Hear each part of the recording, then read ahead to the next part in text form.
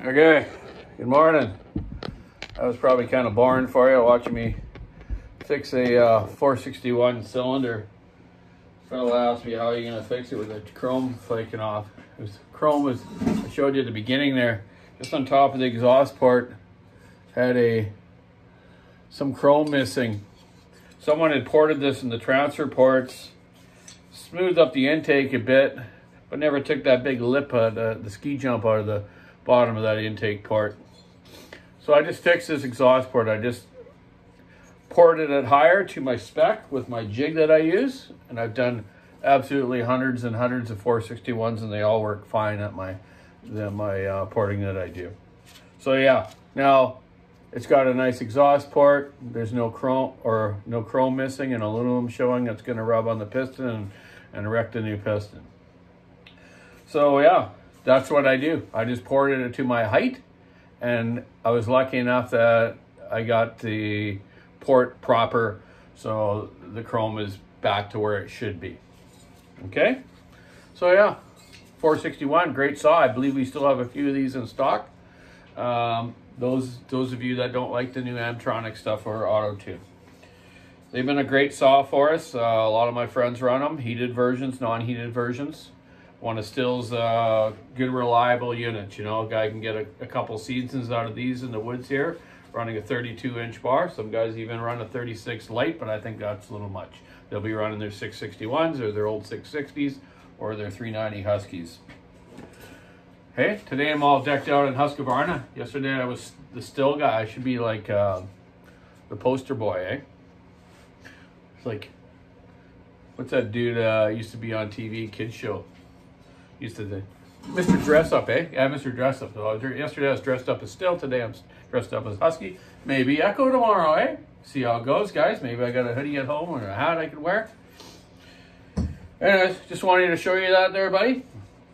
Another fella sent me an email asking about the 394, or not 394, but his um, pulse pulse on the on a uh, certain motor. I, forget what motor it was. But let me just show you what I meant there, buddy. You got normally you got the the carburetor, you got the insulator block, right? And then you got your carb gasket. So wherever your pulse hole is on your carburetor, you want the little hole in the gasket to line up. If it's an internal uh, pulse hole system, right? And some of the insulator blocks uh, or carb blocks will have like a channel in it. So that the hole from the carburetor gasket goes into that channel, through the channel, then down to the hole of the cylinder. You can see how this one, there's your carb one up here, and it goes through a channel down to this one on the cylinder. Same as that picture you sent me on the on the email. If you don't understand that, I'll try to do it a little better for you. I just didn't have the right stuff here sitting here right now. I just randomly just talked about that. So anyways, yeah, I'm just got this cylinder done. I'm gonna take this into the, the other shops so Sam can put back together for the customer. And then I'm gonna uh, come back and port these two 357s, the 346, and um, a old school 372 non-X-Torq. Anyways, keep your saw into it, stick an ash rubber in the road. Have a great week. It's still a little nasty outside here. Uh, we're supposed to get some better weather around Sunday, and the next week's supposed to be warmer. Come on, spring. Show up. Get the flowers growing, the trees going, lawns growing, so everyone has to go start their lawnmowers that don't start, and they'll be bringing them. Then we'll have lineups of lawnmowers and weed eaters because everyone left gas on them and didn't do them right or start them up once in a while. So go out, check out your lawnmower weeder. If it doesn't start, put fresh fuel on it.